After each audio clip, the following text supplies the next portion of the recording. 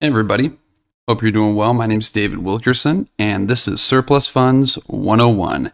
Um, first off, just want to start off by saying thank you for all the people who hit that like button, subscribe to the channel, and if you haven't done it, do it. You guys, I've been in the uh, creative real estate and asset recovery space now for over a decade. Okay, I've done thousands of transactions, and on this channel, I give you all of my top tricks and tips and little ninja things that I've discovered, created, and modeled over the past 10 years. You know, while I've been a one man show, for the longest time, I didn't have employees or anything like that. It was just a one man show. But um, I give them to you here and I don't charge you. So do me a favor and hit that like and subscribe button. It mean a lot. But today, I just wanted to talk to you guys about closing deals. Okay. I pay attention to all the comments that are left down in the um, comment box below and all the support tickets and things like that. And one of the things that comes up a lot is people want to know how to close deals. Okay. They want to know what the magic bullet is, the unicorn. Okay. And I'm here to tell you guys that there is no unicorn. There's no magic bullet. Um, there's nothing like that. You know, you guys overcomplicate the process of closing transactions way, way, way more than you need to. Okay, you overcomplicate it to the point to where it, immobilizes you, and it you you're in fear of even taking action because you think you're going to screw something up. Okay, so you know my virtual assistants myself and we make about 400 phone calls a day and i've been doing that for years okay? So i've learned a few things you know about closing transactions i just want to share with you guys some mindset tips and some tricks that i've discovered throughout that time frame okay? And the very first thing is when it comes to closing deals closers always ask okay? So let me elaborate on that very fortunate to have the peer group that I do right now. And one of my friends owns a call center, and his call center they sell high end coaching programs to people, so five to twenty five thousand dollars. Okay, let me tell you how that works. So when it's three o'clock in the morning and you're in your underwear and you're watching TV and you're eating Cheetos and drinking fucking Mountain Dew, okay, and an infomercial pops up, for let's say a real estate program where they have one big tip, one big secret they want to share with you and you buy a course. Well, those leads immediately get shipped off to a call center and they call these people the very next day and they upsell them into a high ticket coaching program. So what happens is they get these leads, they make a phone call and 30 minutes later they get that person to whip their credit card out and make a very, very big purchase. And so, my buddy, he's been doing this for over a decade, hundreds and hundreds of millions of dollars worth of these transactions. In my eyes, he's probably the best, probably the best salesperson I know. And for the longest time myself, I even um, would always ask him because I was wondering, I was like, dude, what's the secret? Like, how does this guy like get somebody to make that big of a purchase without knowing them um, in that short of amount of time, right? And so I'd always ask him, I'm like, hey, what what's the secret? If you could like boil down your entire sales experience into one piece of advice, what would it be? And he always would say this. He says, David, closers always ask. And for a while, like I didn't know what he was talking about. You know, and I was like, dude, what's this mean? But you know, like the more I've been in sales, and he told me this a decade ago. Um, you know, the longer I'm in sales, the more transactions I do, the more this just re-solidifies and surfaces. Because you guys, you don't have to have a fancy one-liner. A fancy one-liner that makes up for like less than probably 2% of the overall transactions that I do. You can't build a predictable business on unicorns. Okay. Now, when it comes to always asking, one of the a great example of this is if you ever watch any Grant Cardone's content. Okay. Grant Cardone, I don't think I've ever watched anything he's ever produced and put out on Instagram or on Facebook or on YouTube without him at the very end of whatever he's saying or talking about says, Hey, if you want this, click on this. If you want this, click on this. By the way, you guys, if you want my free calling script, why don't you just go in the comments section below, click on the link below, and take advantage of it. Okay, so what he does is he makes a lot of offers. Okay. So when it comes to closing these deals, all you have to do is just summarize the conversation and at the very end say, hey, would it be okay if I sent you out the paperwork and tomorrow we had a notary come by or would Friday work better?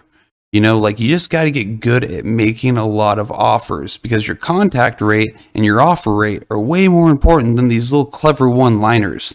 The clever one liners aren't going to pay your bills. Okay. That's what it's going to take, you guys. Closers always ask. Okay. Just make a little note of that in your head. Dude, whenever you get done talking, whatever it is you're talking about, okay, always just toss an offer out. Because when it comes to this business, you know, there's going to be people that are going to work with you, and there's going to be people that aren't going to work with you. There's more of them that aren't going to want to work with you than that will. But you'll never know that unless you just ask them. Because if you don't ask, you never can receive. So closers always ask. That's the most important thing. Now, I'm not saying be reckless and don't have any intention. Like, obviously, when you're talking to people, have some urgency behind what you say. Hey, is it okay if we send you the documents out tomorrow? Hey, if I do this, can we do this? And, and, and kind of communicate like that. But always make offers, you guys. Now, the second thing is you're going to get paid in life on your performance, not a clever one liner. Okay, let me elaborate on that when you look at celebrities or actors, they're some of the highest paid individuals on planet Earth. You want to know why? Because they're very good at getting themselves in a state and transferring emotion to the person that's watching TV to get them happy, to, you know, um, keep them in a good mood, whatever it might be, you know, like they get paid on their performance. So, how this correlates to you is you have a script, a calling script and it's in the link below. Go ahead, grab it. It's the one I use. You know, you can use it too if you don't have one. But they have a script, and that script, they've gotten very good at talking about the script. You know, like getting into the theatrics, the theatrics of the script. Okay, that is what's important. Okay, like I always uh, here in town, they have. Oh God, I a little brain fart, but every summer they have an outdoor amphitheater um, where they have people doing these performances. And like when you think about making a performance, like it's not that physical, it's not that much of a physical workout, it's a mental workout. Like if you guys ever noticed when you're making your phone calls after the, uh, at the very end of like a three hour calling script, like you are mentally fried like that means you are putting in that work and you are putting on a good performance. So from the time somebody picks up the phone, you guys, it's very, very important that it's on, that you're ready to go and you're ready to have good, engaging conversations with people. Okay, so you're going to get paid on your performance. So get good at reading the script. You know, read the script 10 times every day before you um, get on the phone. You know, walk around your house and say like you're like at a high school performance or like you're at a play. You know, like you're going to get paid on your performance, you know, so study the basics and get good at communicating them. Now, the third thing, okay, people are always worried about cancellations. Oh my God, Dave, what happens if somebody cancels on me? Well, you know, I'm here to tell you guys that cancellations aren't always a bad thing. Okay, let me explain, and I'm going to use a little scenario with two of my virtual assistants a few months ago. Okay, both of them were given the exact same amount of leads every single week, right? One of them had a two a week average and nobody ever canceled or closed, right? Um, nobody ever canceled, I mean. The other person, they had about a six or seven a week average, but two of them canceled. Now, let's just do the reverse on the math here. Who's in a better spot at the end of the week? Because it doesn't matter if a deal cancels or if you sell somebody.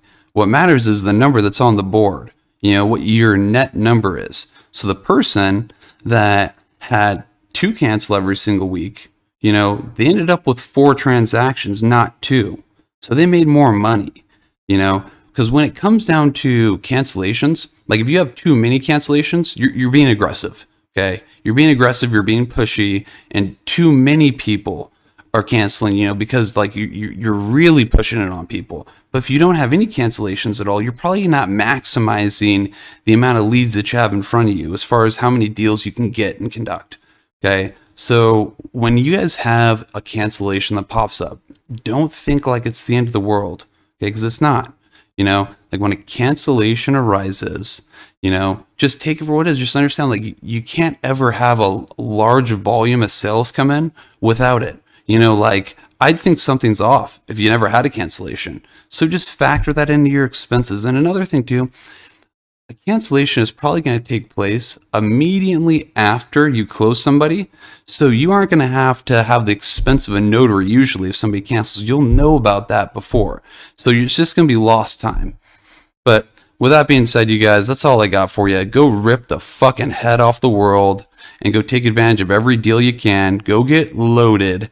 And that's it.